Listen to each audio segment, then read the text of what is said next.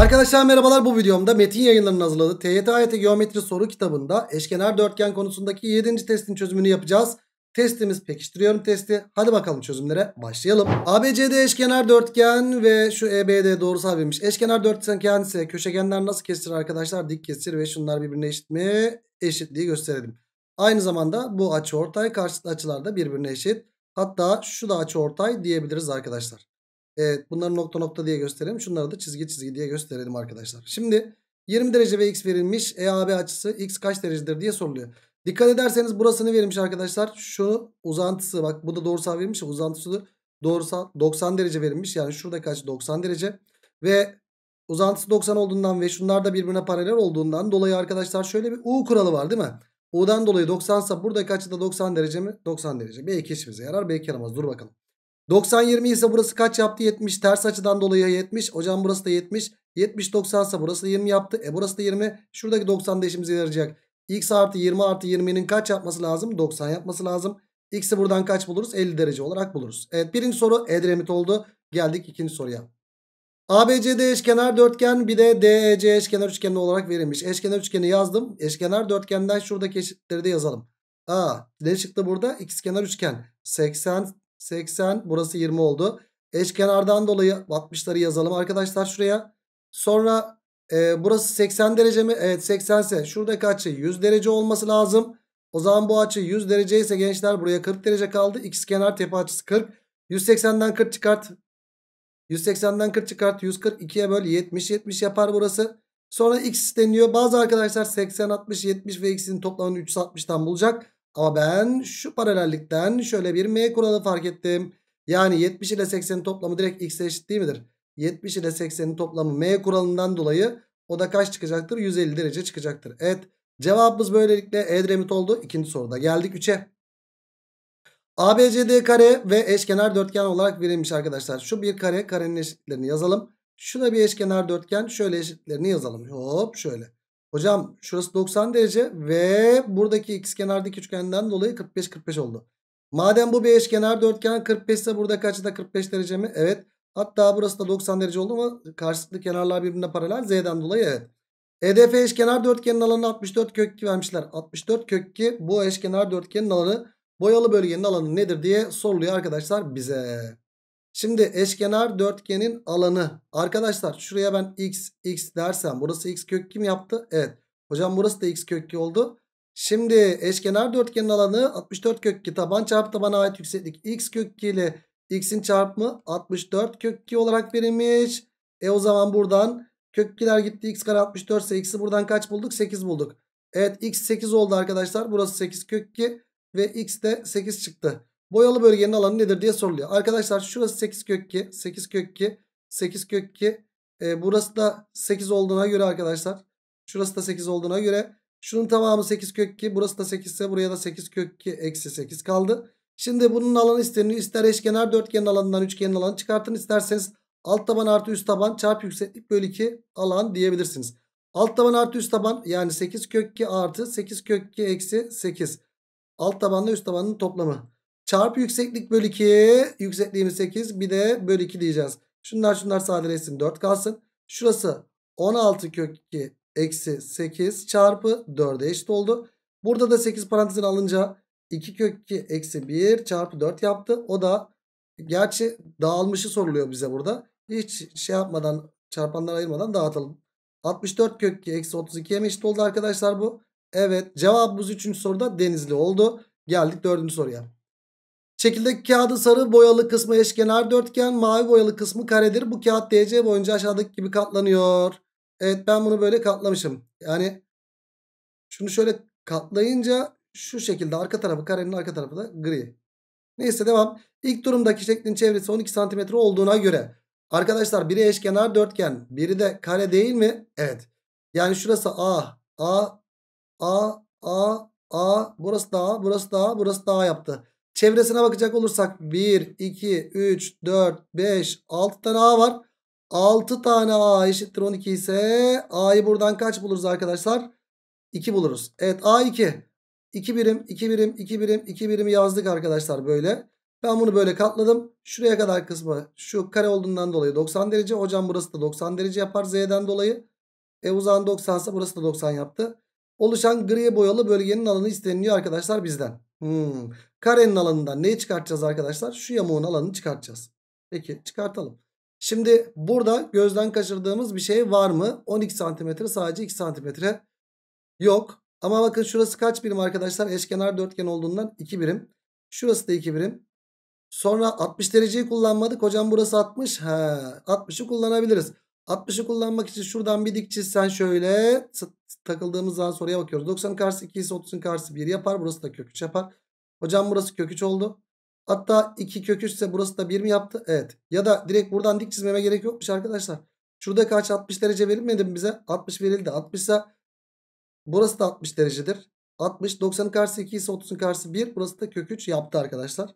E, tamamı 2 idi. Burası da 2 birim. Buraya da 1 birim kaldı. Gri boyalı bölgeyi alanını bulmak için ne yapacağız arkadaşlar? İsterseniz şey yapabilirsiniz.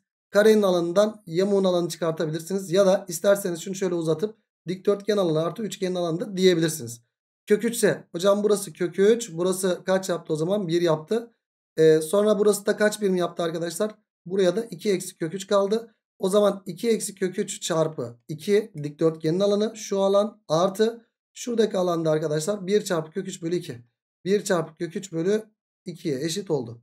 Buradan 4 eksi 2 kök 3 artı kök 3 bölü 2'den e, ne yaptı? 4 eksi Evet 4 eksi 2 eksi 4 kök 3 artı kök 3 eksi 3 kök 3 bölü 2 yaptı. Bu da 8 eksi 3 kök 3 bölü 2'ye eşit oldu arkadaşlar. Cevap Deniz ne yaptı arkadaşlar? Ceyhan yaptı. Geldik 5. soruya. ABC eşkenar üçgen. ABC eşkenar üçgense şunları şöyle bir 30 30 diye yerleştirelim. Şurası 60 derece, burası da 60 derece. Sonra BCD eşkenar dörtgen. Şu bir eşkenar dörtgen. Şunlar birbirine eşit verilmiş arkadaşlar. O zaman 30 ise burası da 30 yapar. Eşkenar dörtgen ise aynı zamanda açı ortaydır. Bunlar da 30-30 yaptı. Burası da 30-30 yaptı. Sonra 12 birim olarak verilmiş burası. E o zaman burası da 12, burası da 12. Bizden ne isteniyor? Boyalı boy bölgenin alanı isteniyor. Arkadaşlar şöyle yapabiliriz aslında. Şu açı ortayın devamı yüksekliktir deyip şöyle bir 90 derece yapıştırabiliriz. Bu açı ortayın devamı da yüksekliktir deyip 90 derece yapıştırabiliriz. Şimdi ya da 12 12 12 kök 3 deyip eşkenar üçgenin alanından beyaz alanını da çıkartabilirsiniz. Size kalmış arkadaşlar.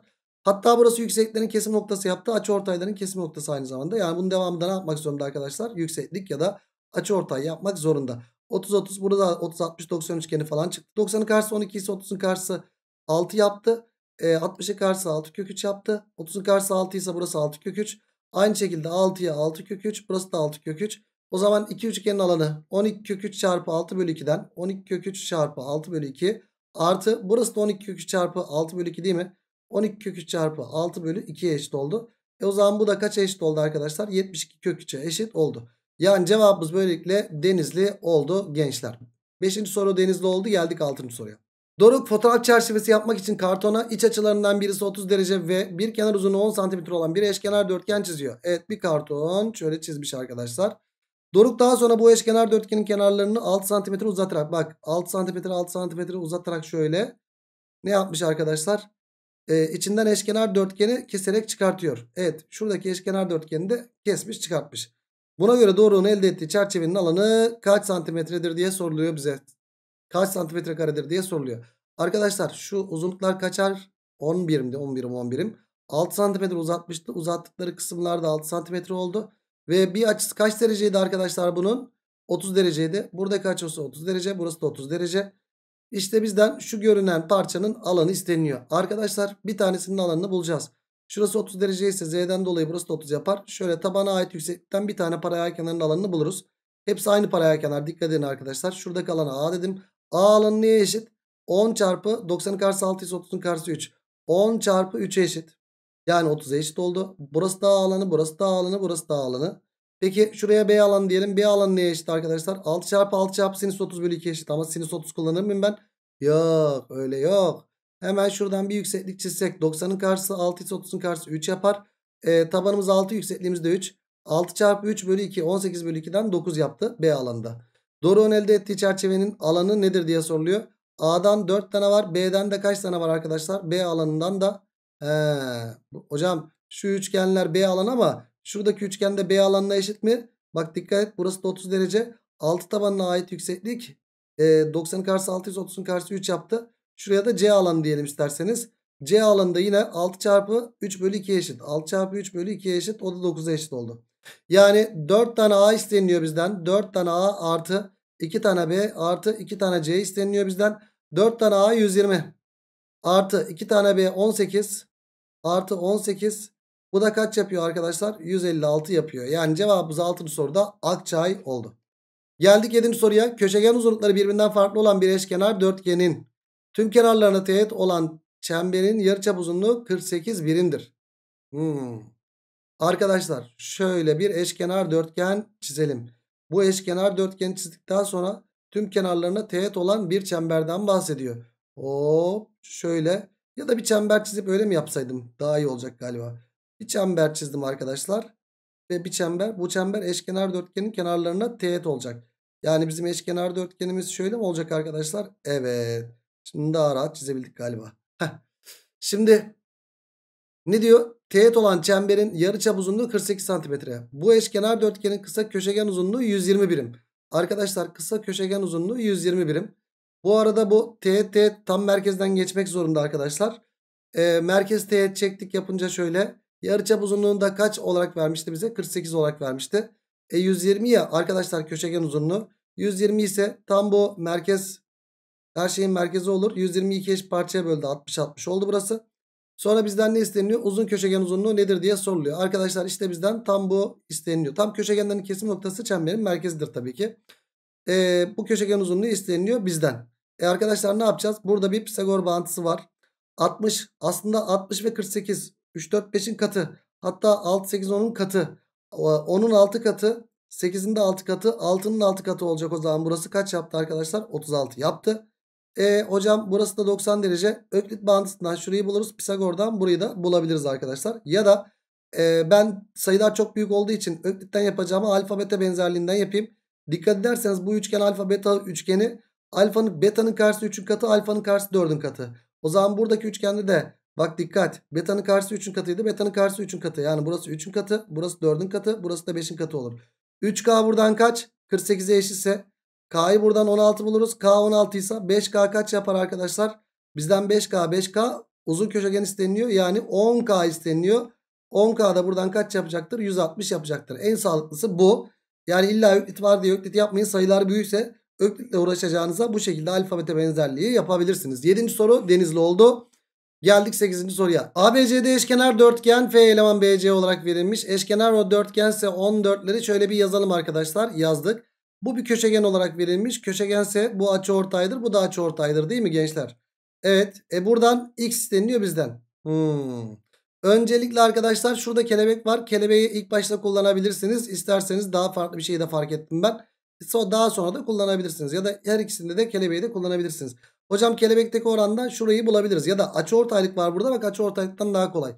Kollar oranı tabanlar oranı eşit değil mi? 8 iken 4 olmuş yarısı 14 iken burası da ne olur? 7 olur. Ya da kelebekteki oran 14 bölü 8 a bölü 4'ten a'yı da yine 7 bulabilirsiniz. Neyse burayı 7 bulduk. Peki x'i bulmam için benim nereyi bulmam lazım? Şurayı bulmam lazım arkadaşlar. E burayı bulmak için bir hamle yapacağız. Ne yapacağız? Arkadaşlar bu açıortay uzunluğu formülü. Yani BF uzunluğunu öncelikle bulalım. Kollar çarpımı eksi tabanlar çarpımıydı. Yani 14 çarpı 8 eksi 7 çarpı 4'e eşitti arkadaşlar bu. E ama hocam bu müfredatta yoktu. Evet ama e, bunu bulmak için şöyle de hamle yapabilirsiniz. Şuraya bir alfa açısı deyip şuradaki açıya büyükte kosinüs teoreminden kosinüs alfayı bulup küçükte kosinüs teoremi uygulayıp yine soru işaretini bulabilirsiniz. Ben buradan yapmaktansa e, şuradan yapayım arkadaşlar. Açı ortay teoremi kollar çarpımı eksi tabanlar çarpımıdır. Aklınızda bulunsun. E, buradan ne geldi arkadaşlar? Kare küçüğünde 4 kere 8 32. 112 eksi 28 yaptı burası. 112'den 28 çıkınca kaç kalıyor arkadaşlar? 4 burası. 112 sonu 4'lü olacak. Şurası. Ee, 9 84 mi yapıyor? Evet 84 de neye eşit arkadaşlar? 2 kök 21'e mi eşit oldu? Evet 2 kök 21'e eşit oldu arkadaşlar. E burası 2 kök 21 ise şimdi kelebek benzerliğinden kelebekteki oran 14 bölü 8 eşittir. Neye eşittir? X bölü 2 kök 21'e. X bölü 2 kök 21'e eşittir. Şu 2 ile bu sadeleşse 4 kaldı burada. Kök 21 ile bunu çarptığım zaman 14 kök 21 bölü 4 eşittir x'e eşit oldu arkadaşlar. Bir yerde hata yaptık galiba. 14 kök 21 bölü 4. Ha yok bir daha sadeleşiyor şunlar. Şunlar sadeleşince 7 2 kaldı. 7 kök 21 bölü 2'ye eşit olmuş oldu arkadaşlar cevabımız. Yani 8. sorunun cevabı böylelikle Ceyhan oldu ve 7. testi de bitirdik. O zaman ne diyoruz? Bir sonraki videoda üniversiteliyim testlerine başlıyoruz. 8. testte görüşmek dileğiyle kendinize iyi bakın. Hoşçakalın.